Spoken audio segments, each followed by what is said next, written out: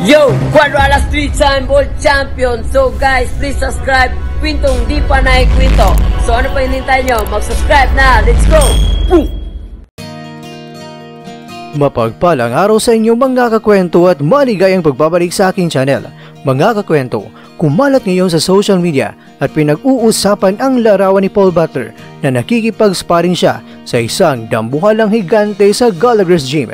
Ito ay kasali sa kanyang paghahanda na ginagawa ng mandatory challenger kontra yan sa ating kababayan ang WBO Bantamweight Champion na si Janriel Cuadro-Alas Casimero at ang salpukan nga nila ay talagang malapit na dahil ngayong darating na yan na April 22, 2022.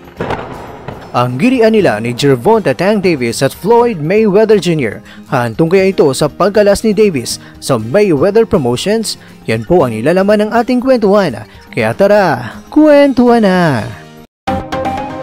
Yo, Quadrala Street Time World Champion. So guys, please subscribe. Kwintong di pa naikwento. So ano pa hinintay nyo? Mag-subscribe na. Let's go! Boom! Sa isang tweet na direkta mismo yan sa official Twitter account sa coach at trainer ni Paul Butler na si Joe Gallagher, dito natin makikita ang mga ilan na mga larawan ni Paul Butler na nagpapakita ng mga training sessions nila at pati na rin sa kanyang mga sparring sessions. Kaya naman mga kakwento, ipapakita ko sa inyo ang larawan na ito at dito natin makikita na itong si Paul Butler ay nakikipagsubukan sa kanyang sparring partner na talagang makikita natin kagad ang kaibahan ng laki ng katawan at tangkad nila ni Paul Butler. Mga kakwento, dito natin masasabi na talagang itong si Butler ay napakaseryoso talaga sa paparating na laban nila ni Cham Casimero. Pinaninindigan at ginawa niya talaga ang lahat para may sasakatuparan niya ang mga banat niya kay Casimero na tatalunin niya si Cuadro Alas dahil hindi hindi na daw siya makakapaghihintay pa na itaas ang kanyang mga kamay pagkatapos ng kanyang laban at maririnig daw ng kanyang mga kababayan na and the new WBO Bantamweight Champion, Paul the Babyface Assassin Butler. Ang lahat ng mga ito ay paka na ito ng trainer at coach ni Paul Butler sa pangalang Joe Gallagher. Kung ating titingnan ang larawang ito, ito ang Team Gallagher mga kakwento at binubuo ito ng ilan ng mga world champions at isa na nga dito itong si Sunny Edwards, ang IBF World Flyweight Champion at ang babae nasa gitna ay si Natasha Jonas, ang WBO World Female Super Welterweight Champion.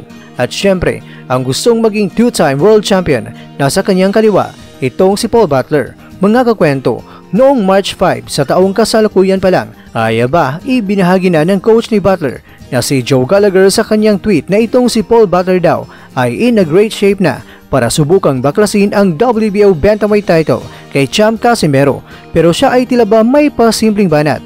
Nagtatanong siya at ito ang kanyang katanungan. Can anyone confirm it's going to be Casimero? At na-mention niya sa tweet niya ang Manny Pacquiao promotion president na si Sir Sean Gibbons. Tila ba ang coach ni Butler ay gustong makakasiguro kung sino nga ba talaga ang makakalaban ng manok niya? Mga kakwento, masasabi talaga natin na hindi rin talaga binaliwala nila ang lakas at galing ni Champ Casimero. Dahil kung ating babalikan ang nakasparing ni Butler, sobrang lagi po ang nakasparing niya. At alam naman natin mga kakwento na ganitong uri ng boksingero ay talagang mabibigat ang mga suntok. Kaya naman mga kakwento, masasabi mo talaga na ganyan na lang talaga kalaki ang respeto nila sa lakas ni Champ Casimero dahil kinakailangan pa nila ng hanapan ng mas mabigat at malaki na kasparing partner itong si Paul Butler. Pasensya na po talaga mga kakwento dahil mga pictures lang talaga ang aking may papakita sa inyo at limitado pa dahil kung kadalasan kapag ang laban ay medyo malayo pa ang ibang mga boksingero ay nagpapakita yan ng kanilang mga pinagdadaanan na mga trainings bilang paghahanda nila sa paparating na laban. Pero kapag malapit na doon na maghihigpit at wala ng training videos na ipapakita nila. Pero iba nyo itong si Paul Butler. Dahil kung si Paul Butler ay binansagan na the babyface assassin ay aba, naging silent killer na. Dahil ang lahat ng mga pagsasanay niya ay talagang walang ipinapasilip sa publiko kahit pa noong December 2021 bilang paghahanda niya kay Casimero. At kung meron man tapos na ang kanilang training. Kaya masasabi natin mga kakwento na talagang gusto nila na surpresahin itong si Champ Casimero. Sa kalibreng meron itong si Paul Butler. Pero sana naman Butler ay doble ingat kayo. Dahil baka sa kakatago ninyo ay kayo ang masurpresa ni Champ Casimero sa laban. I'm just saying lang. Samantala, ang bangayan nila ni Floyd Mayweather Jr. at ni Gervonta Tank Davis ay pinag-uusapan pa rin ito hanggang sa ngayon.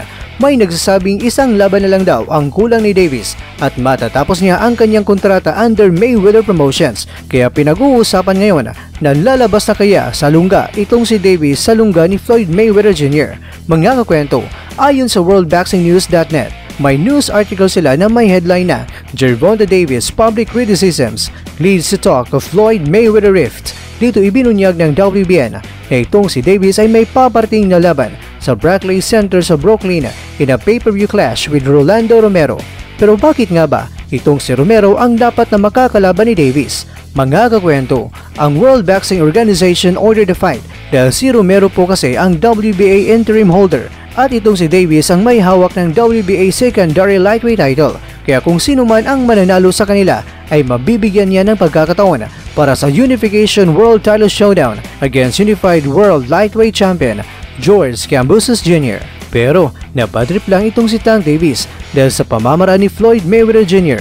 at kasama niya sa kanyang Mayweather Promotions team dahil daw yan sa pagbenta ng mga tiket sa laban niya na hindi daw nagustuhan ni Davis dahil ginawa daw ito na on sale ang mga tiket sa laban niya one month before na tila ba inihahantulad siya kay Michael Jackson at iba pa at sinabi pa niya na that ain't gonna work. Kaya kung sino man ang gumawa nito sa Mayweather Promotions, maging si Floyd Mayweather Jr. man, hindi pa rin may aalis dito na itong si Davis ay nabad trip ito at ibinunyag niya ito sa kanyang mga followers sa kanyang social media accounts.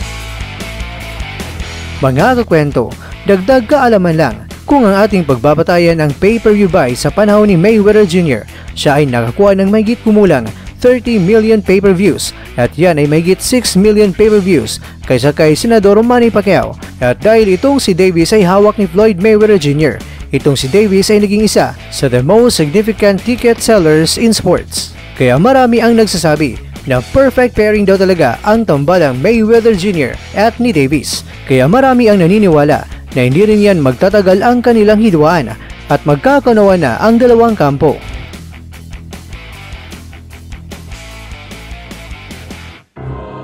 Mga kakwento, hinding-hindi talaga pagbibigyan ng kunting tsansa itong si Champ Casimero ni Butler. Sa gabay naman ng kanyang coach na si Joe Gallagher, masasabi natin na talagang hindi sila nagiging kumpiyansa sa galing at lakas ni Champ Casimero. Doble o triple talaga ang ginagawa nila ngayon para baklasin kay Champ Casimero ang titulo at kay Davis naman at kay Mayweather Jr. Ano naman ang masasabi nyo dito mga kakwento? Aalis kaya si Davis sa Mayweather Promotions o di kaya'y mariresolba nila kung ano man ang problema nga umusbong ngayon? At dyan, nagtatapos ang ating kwento.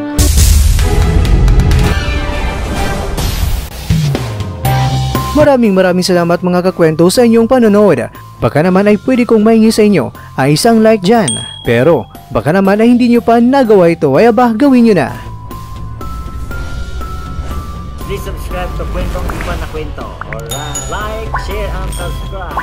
Bago tayo magtatapos ay shoutout muna tayo dyan kay kakwentong Mr. Libres, kakwentong Fire Feast, kakwentong Mga Katubig, at ikaw kakwentong nanonood ngayon, mega mega loud shoutout sa iyo dyan.